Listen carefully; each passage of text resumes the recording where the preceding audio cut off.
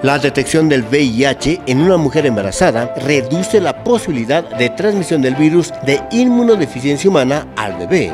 Por eso, si una mujer gestante está infectada con VIH y no realiza el tratamiento antirretroviral, existe una alta probabilidad de transmitir el VIH al bebé. Cada mujer en estado de gestación tiene el derecho de recibir asesoría médica sobre la enfermedad del VIH. Existen tres maneras de transmitir el virus al niño o niña durante el embarazo a través de la placenta, en el parto cuando el bebé entra en contacto con la sangre y fluidos corporales y mediante la lactancia materna.